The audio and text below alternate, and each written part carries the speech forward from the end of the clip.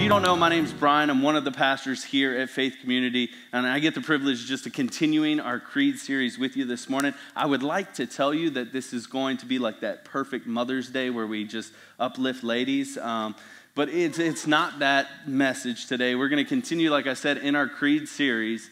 And as we continue, we're going to talk about the death of Jesus. You know, him being suffering under Pontius Pilate, crucified, dead, and buried. And we're going to take a look at that uh, and I want to just kind of, you know, give you some understanding here because if you're like me growing up, this story was beautiful to me but yet at the same time was very perplexing. It was very confusing to me because as I was growing up and I would hear this story, a lot of times in my mind I couldn't register how a Jew dying over 2,000 years ago would impact my life today. And if I'm honest, even as I grew in my teenage years, I struggled because I thought of this story in lights of like a Chinese proverb, right? Like it's a good story. It's meant to be told to encourage you to do good. And, and my parents were great about instilling those beliefs in me, but I just wrestled with it because, yes, it spoke of beauty, but at the same time, I couldn't quite understand how a person dying over 2,000 years ago could impact my life in this way.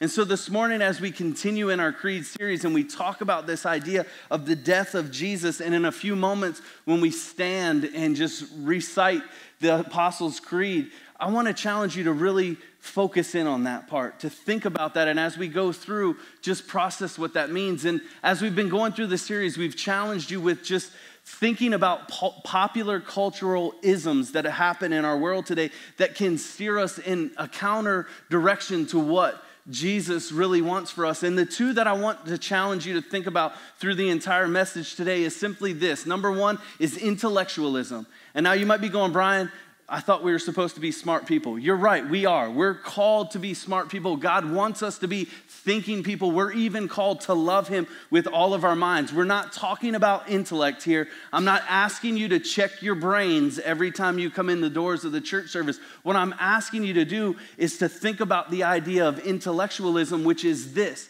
that if man thinks enough or he thinks in a way that he can essentially change himself. Like, if I just think the right things, eventually I will change myself. If I just think about these things, that magically it'll happen. We can't do that, right? And the second one I want to challenge you with is legalism. And what is that? Legalism is just thinking that if I do the right things, if I live up to some sort of list and I do good, that somehow I can magically tip the scales in my favor with Jesus, and I can become in right standing with Jesus based on what I do. And if you've been in church, you've heard us talk about that. We can't do enough good in order to be in that. And so we're going to dive back into this and thinking about it. And I want you to understand, and I'm going to give you just the key part right from the beginning. I'm not even going to let you wonder. But Jesus' death reconciles us to God and it creates a people or a community that is both local and universal. And what do I mean by local and universal? What I mean is it's, it's a place that's here, it's also worldwide, but even more than that. Think about it in this concept it's also social right? It goes beyond culture, it goes beyond just your so, social economic status as well. Jesus has died so that you can be reconciled with Him. And so we're gonna go ahead and read the creed. So I'm going to ask you, if you would, to stand with me. Uh, it'll be on the screens and just read with me here. I believe in God the Father Almighty, creator of heaven and earth, and in Jesus Christ, his only Son, our Lord, who was conceived by the Holy Spirit, born of the Virgin Mary, suffered under Pontius Pilate, was crucified, dead, and buried. He had descended into hell and the third day he rose from the dead. He ascended into heaven and sits on the right hand of the Father Almighty, from whom shall come to judge the living and the dead. I believe in the Holy Spirit, the holy Catholic Church, the communion of the saints, the forgiveness of sins, the resurrection of the body, and life everlasting. Amen. Like I said, today we want to look at that suffered under Pontius Pilate, crucified, dead, and buried.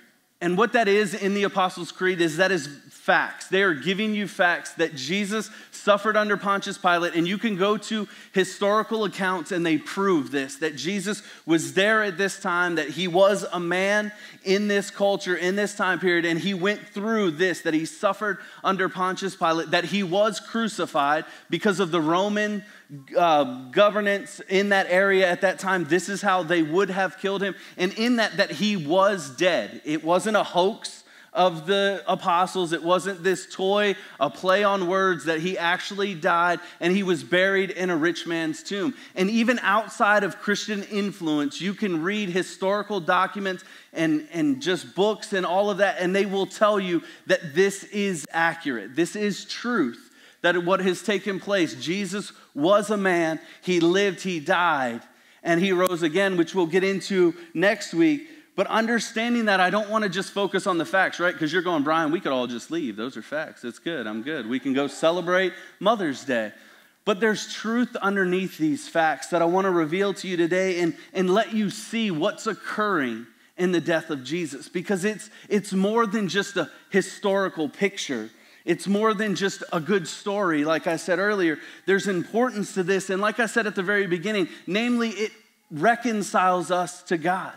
The death of Jesus on the cross reconciles us to God and it creates a community for us, or if you will, it creates the church. The death of Jesus creates the church.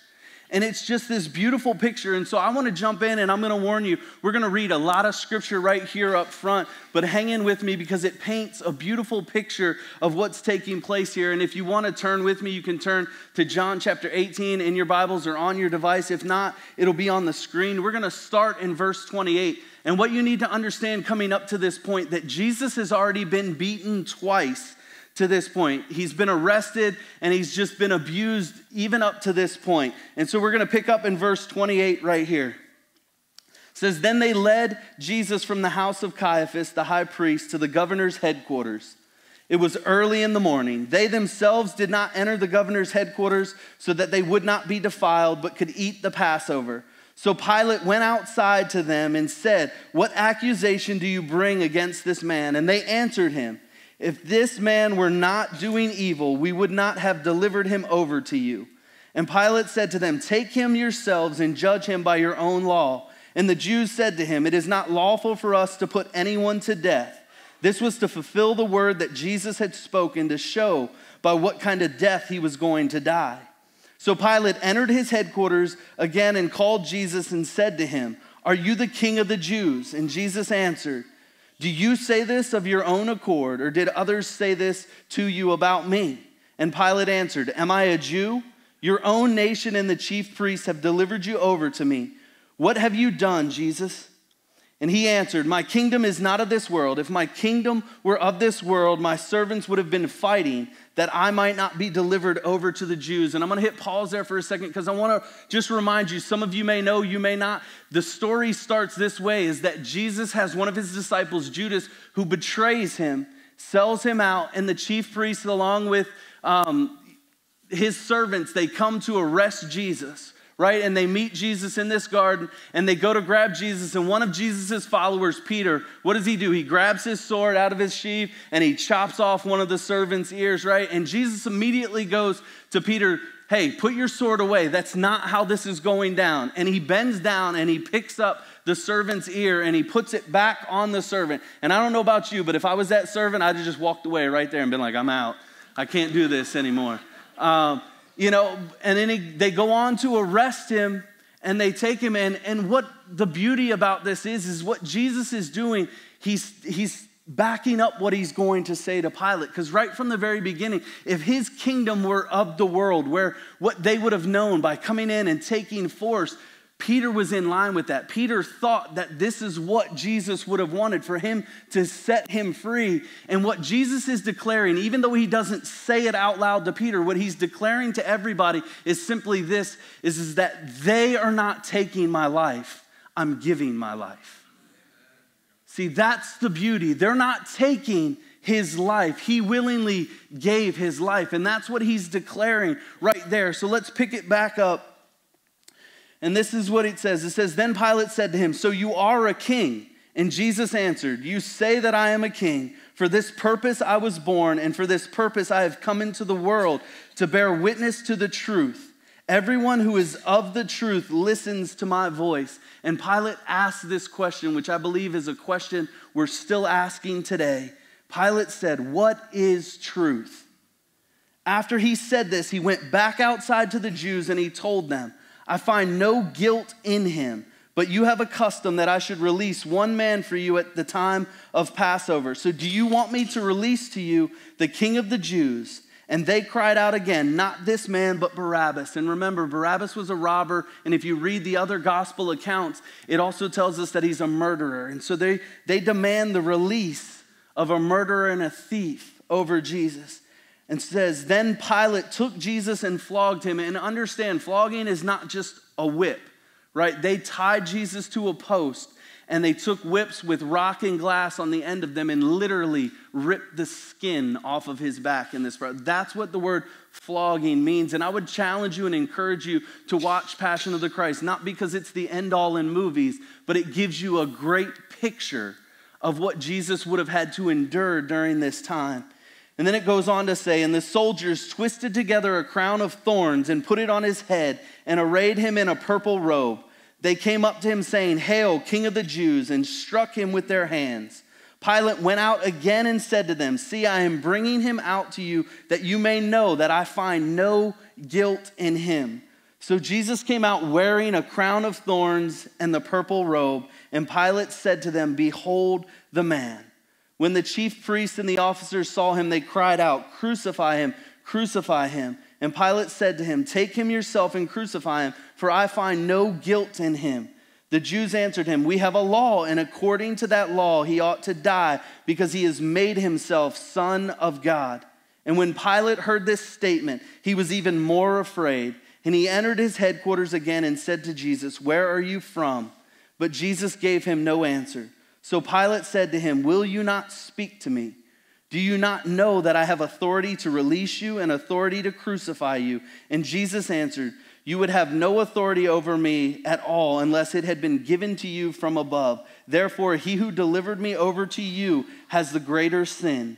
From then on, Pilate sought to release him, but the Jews cried out, If you release this man, you are not a friend of Caesar's. Everyone who makes himself a king opposes Caesar. So when Pilate heard these words, he brought Jesus out, sat down on the judgment seat at a place called the stone pavement. Now it was the day of preparation of Passover, and it was about the sixth hour, and he said to the Jews, Behold your king. And they cried out, Away with him! Crucify him!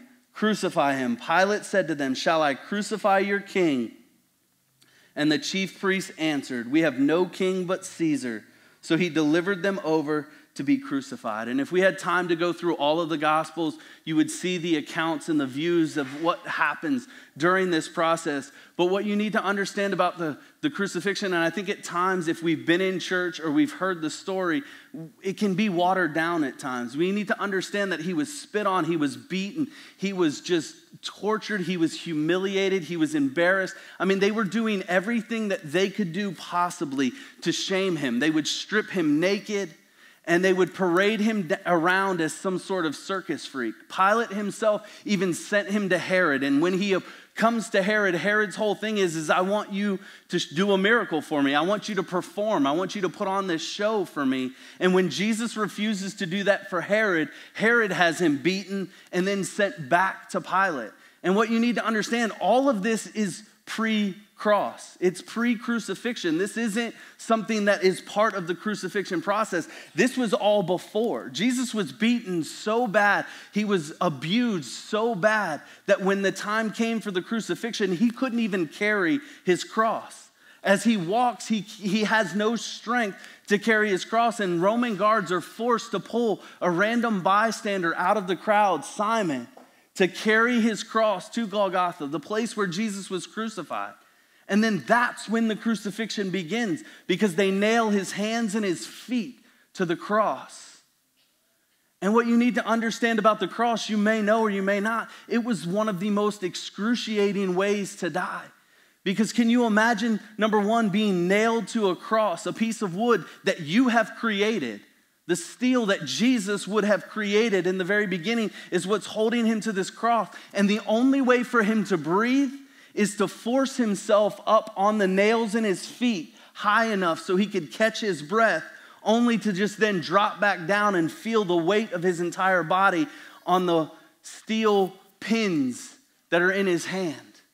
And the way you would die is that you would drown in your own blood, you would suffocate because of the weight of your own body, and you just couldn't do it. And that's the picture of the cross.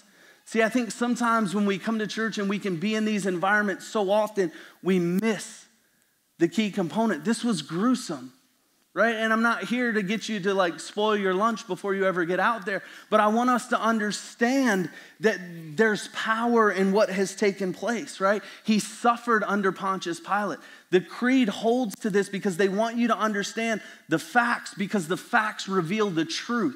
He suffered under Pontius Pilate. He was crucified, he was dead, and he was buried. And that's all facts, but it's truth. And you might be going, Brian, how is that beautiful? You know, and I think if you've been in the faith and you've shared the faith, you understand the beauty of God reconciling us back to God. But think for a moment on the outside. Doesn't that sound a little crazy? I mean, when I was growing up, that was my thought. I couldn't picture how could someone take that for me, right? How can we wear crosses around our necks or on our bracelets or tattoo them on our arms? Because what we're doing is, is we're taking the cross, making it the symbol of Christianity when it's really somewhat like an electric chair, right?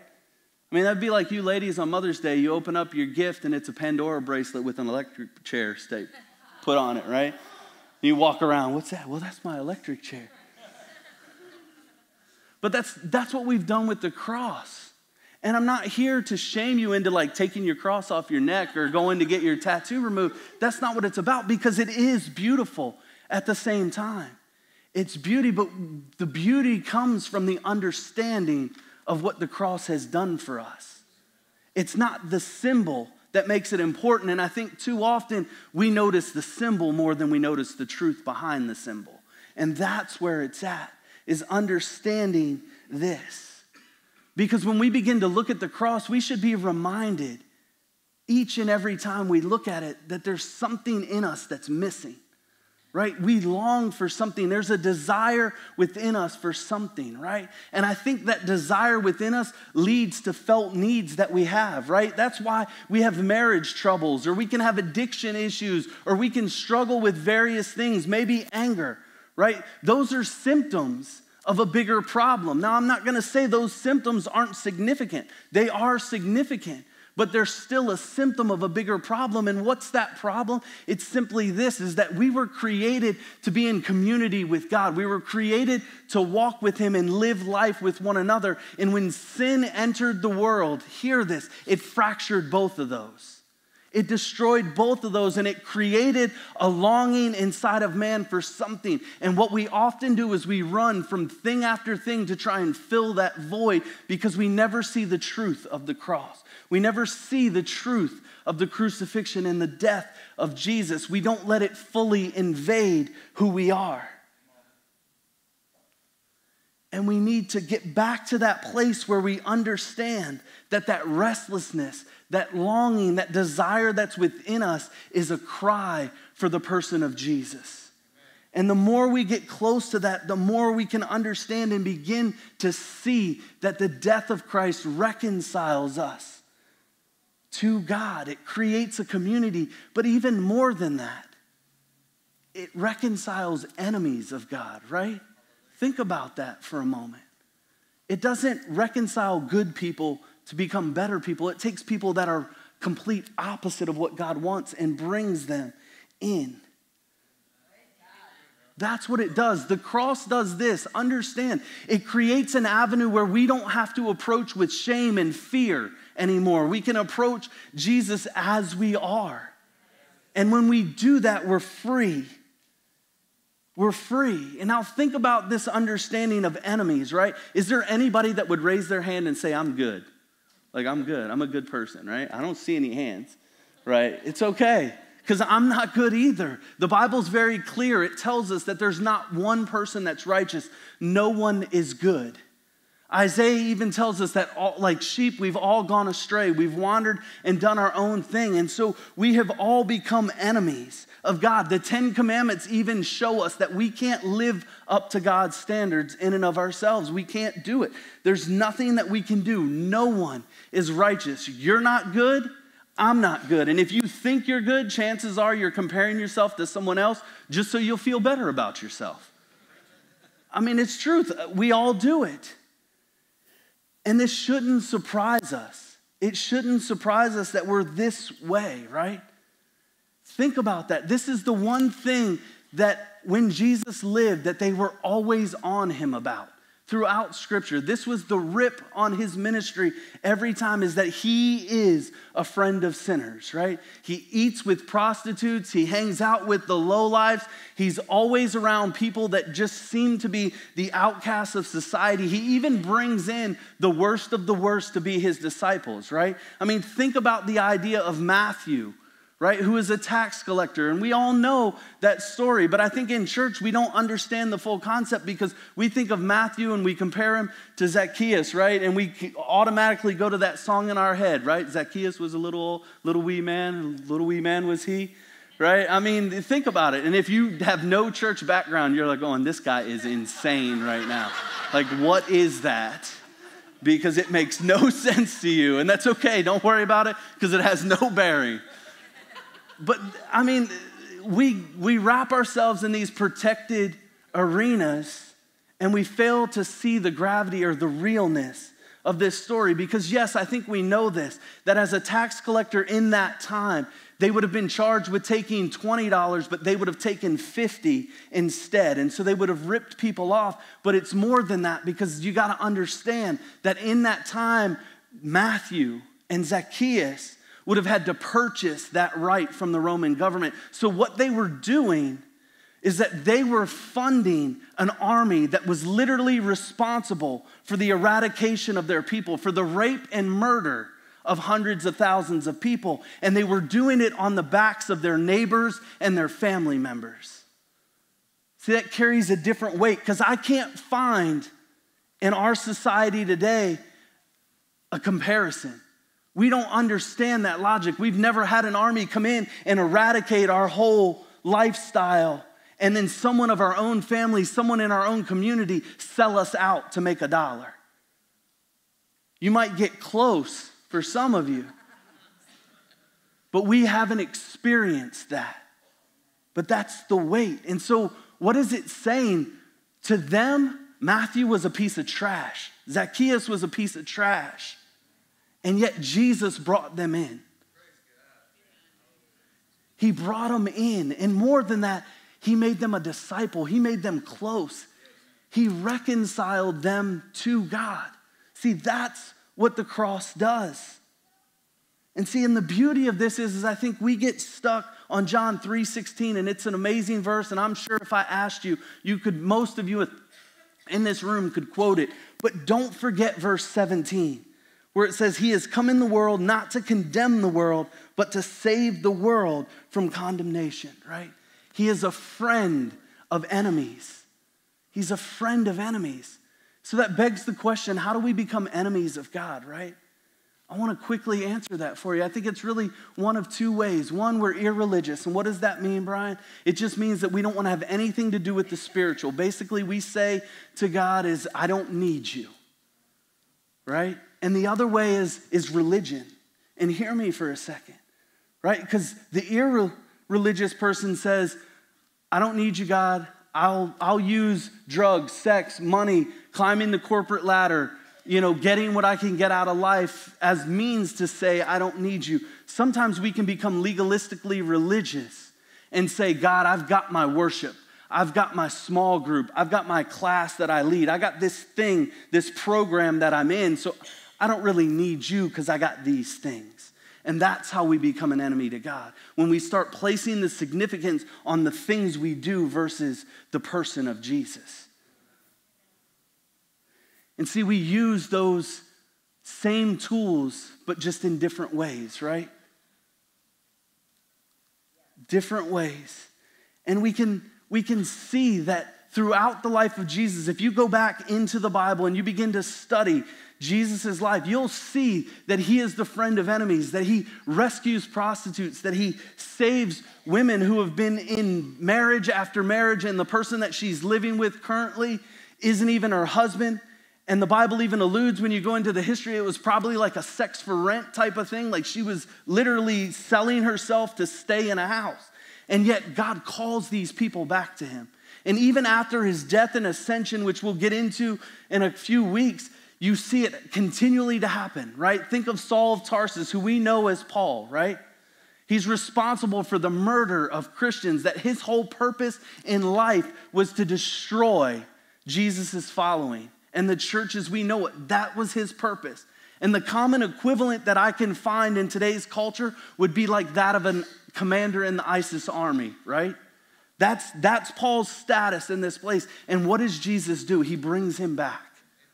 He brings him back. And then we can see on the complete opposite side, he redeems a woman named Lydia, who is just an amazing woman. She's gifted with purple cloth, right? Like she is, she's got it all. She's got a house in the city, she's got a house on the coast. I mean, all the kids want to wear her gear, right? It's like Nike and Jordan, right? Everybody wants what Lydia has. And she's a God fearing woman, just happens to be in the wrong gods. She was serving and worshiping the gods of her culture. And what happens? Jesus gets a hold of her and he redeems her and he reconciles her to God. And so we see both extremes. I'll even give you one more the Philippian jailer who was charged with guarding Paul.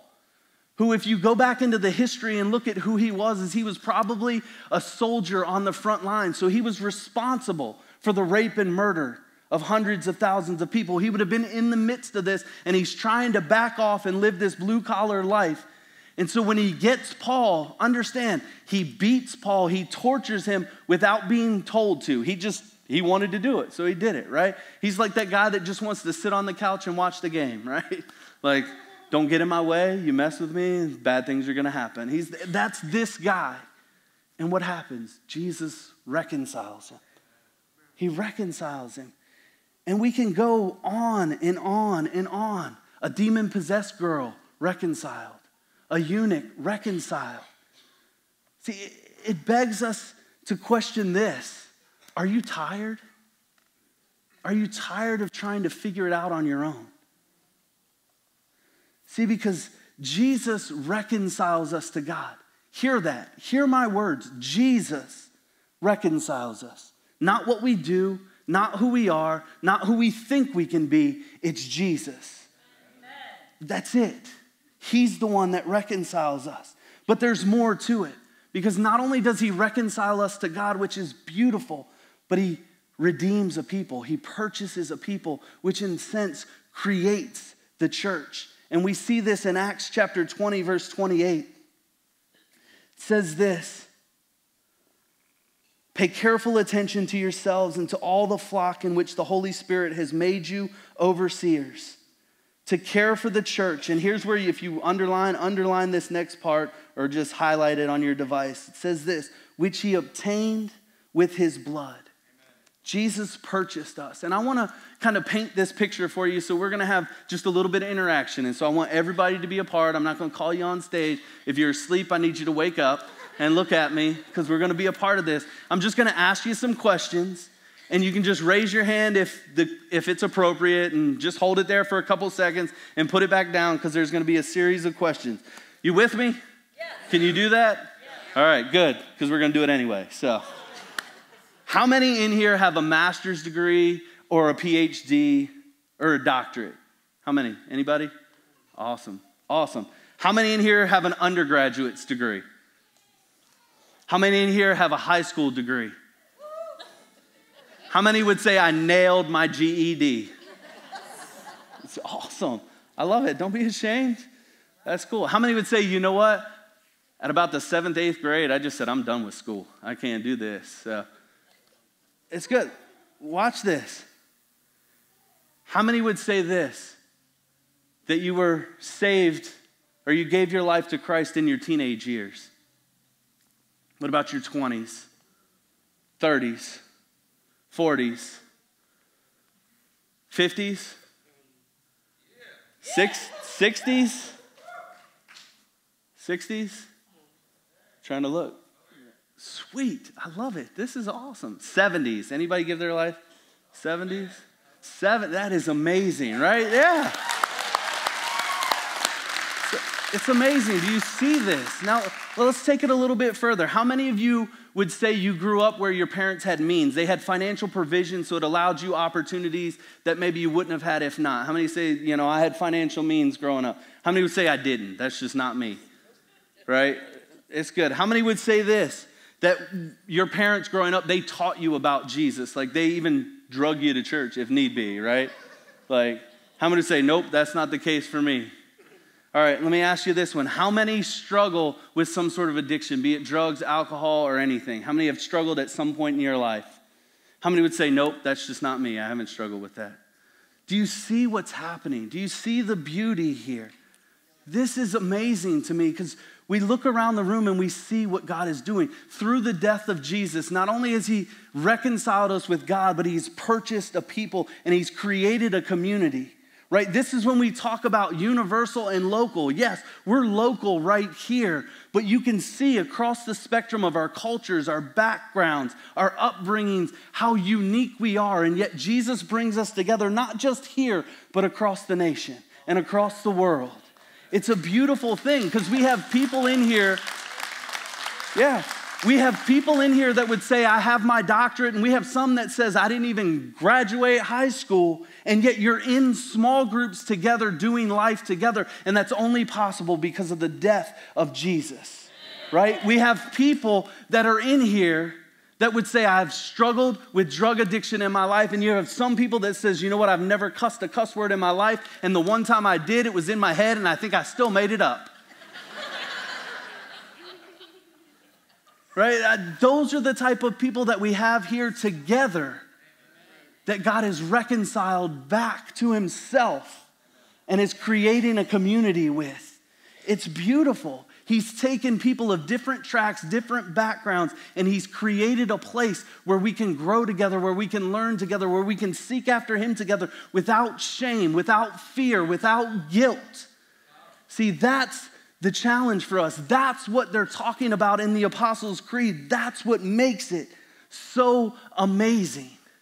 That's why this is important to me, right? The death of Christ reconciles us to God. It puts us in a place where we can come to Him. There's nothing that we can do. It's Him giving it to us, and it puts us in a place where it is community. We have a place to belong, a place to be. And so, what does that mean for us? How do we plug this in to our grid that we've been talking about when it comes to symmetry, clarity, community, and counsel? How does that make us become more mature Christians, right? How do we look at this statement of suffering under Pontius Pilate, crucified, dead, and buried? How does that help us become more mature Christians? And I would challenge you with this. Maybe for some of you in the room today, you need to meditate on the ideal or consider this notion that the Word of God and how it relates to your sin, right? What does your sin mean in the Word of God? For some of you, it's the opposite. To bring symmetry into your life, it's you have to begin to see the weight of your sin. Because if you're honest, you become lazy and you look at your sin and it's like it's not that big of a deal, right? But sin is important, not because it's bigger than God, it's because God hates sin.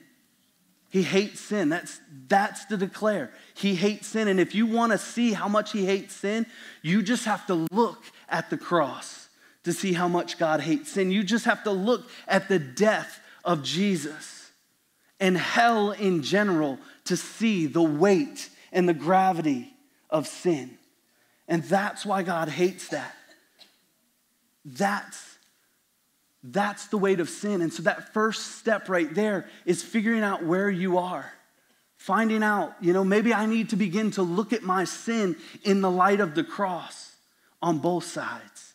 Now, with that, looking at clarity, and I'm just gonna say really one thing about this because I think it speaks for itself. It's if you are in Christ, if you've begun a relationship with Jesus, you are forgiven. There's no caveats, there's no asterisks, there's no what ifs, there's no what abouts. You are forgiven, past, present, and future. You have been forgiven. That's, that's the truth. That's the clarity that this brings, is that you are forgiven. You can live unashamed before God. Think about it, right? Think about Paul who is the, like I said earlier, the common equivalent of a commander in ISIS, right? If you're sitting there going, my sin's too much, Brian, it can't be for you. Look at Paul. Like you and I, right? And I'm just gonna be real and honest with you. When we see that, our first thought is, is can't we just eradicate them all? And what does Jesus say? No, I'm gonna bring them back to God. I'm gonna restore them, I'm gonna redeem them. And so when you're forgiven, you're forgiven. Don't forget that side of it. And now that we have symmetry and clarity, what should we do in community? And this is simple. The death of Christ reveals how we're to treat one another. Did you know in the New Testament there are over 51 occurrences of one another? Now, I'm not going to read all of them, so you can take a break, you know. But I want to show you what they say, just a few of them. This is what they say says, Love one another, serve one another, defer to one another, greet one another, encourage one another, speak life into one another, show preference to one another, outdo one another in honor. And I could go on and on, right? What does the Bible tell us? They will know you by the way you love one another. They know that we believe in Christ, that we are Christians by the way we love one another. That's the importance of the cross. The cross reveals to us how we're to love one another, that we're to encourage one another, we're to lay our lives down for one another, to lift one another up. That's what Jesus did in this moment. And let's be honest, right? People are difficult. Yes. People are difficult, right? You get on someone's nerves. Yeah, you thought I was going the other way with that, didn't you? But you get on people's nerves. But it's through the cross and the death of Jesus that those people can be long suffering, that they can be patient with us, they can still be encouraging to us when we're difficult, when we're ornery, right? I know I get that way. Just talk to my wife. I can be mean at times. And it's because of Jesus, because of Him reconciling us to God, that, that she's able to deal with me, right? that she has the patience to put up with me. And I'm sure she'd say the same thing about herself. That's who we are, right? And then the last part of this that I want you to understand how we see Jesus reconciling us. How do we counsel ourselves in this because this i think is, is the hardest one this is the one that if i'm honest with you i struggle the most with in my life is this idea of free love right because everything within us tells us that love ain't free that's why some of you put makeup on to go to the gym Let's be honest. That's why a lot of us with our lives, we become used car salesmen. We try and show the best of everything because we want love. We want people to love us. And so, in our minds, it is so difficult to understand the concept of free love.